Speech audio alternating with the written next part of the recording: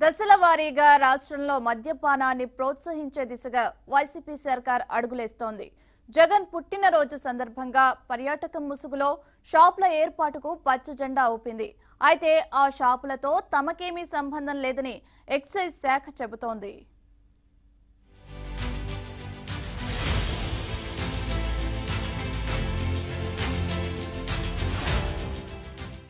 ముఖ్యమంత్రి జగన్ పుట్టినరోజు సందర్భంగా రాష్ట్ర ప్రభుత్వం కీలక నిర్ణయం తీసుకుంది.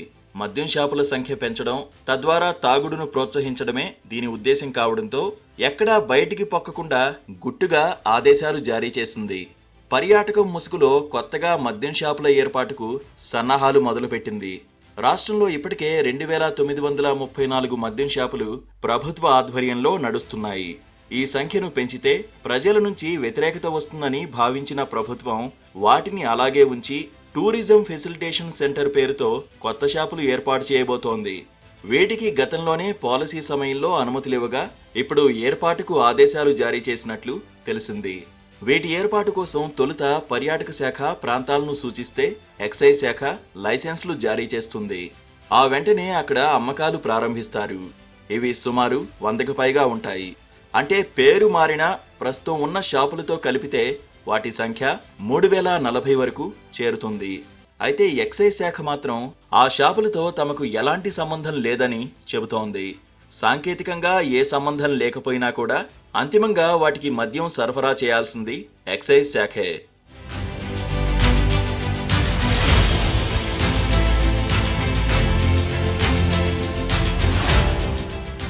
పైకి పర్యాటకం అని చెబుతున్న కొత్త షాపుల ఏర్పాటు వెనుక అసలు లక్ష్యం మద్యం అమ్మకాలు పెంచుకోవడమేనని అర్థమవుతోంది. గతంలో నాలుగు వేల మూడు వందల ఎనభై మద్యం షాపులు ఉండగా నిషేధంలో భాగంగా వైసీపీ ప్రభుత్వం రెండు విడతల్లో వాటి సంఖ్యను రెండు వేల తొమ్మిది వందల ముప్పై నాలుగుకు తీసుకొచ్చింది. అయితే షాపులు తగ్గడంతో అమ్మకాలు తగ్గిపోయాయి.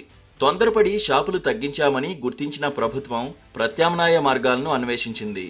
అందులో భాగంగా పర్యాటక కేంద్రాల్లో మద్యం షాపులు అనే విధానాన్ని తెరపైకి తీసుకొచ్చింది. వీటికి ఎక్సైజ్ శాఖ మద్యం సరఫరా చేస్తే పర్యాటక శాఖ నిర్వహిస్తుంది. అయితే మన రాష్ట్రానికి అంతర్జాతీయ పర్యాటకులు వచ్చే ప్రాంతాలు చాలా తక్కువ. ఇప్పుడు పర్యాటక కేంద్రాల్లో మద్యం అని చెబుతున్న ప్రాంతాలన్నీ స్థానికులు సందర్శించేవే.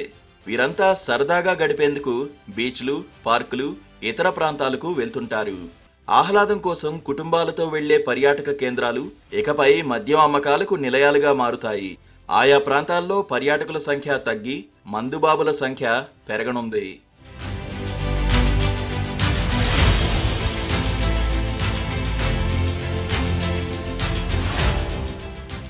దశల వారీగా సంపూర్ణ మద్య నిషేధం చేస్తామని అధికారంలోకి వచ్చిన వైసీపీ ప్రభుత్వం ఇప్పుడు ఆ హామీకి స్వస్తి పలికే పరిస్థితి నెలకొంది.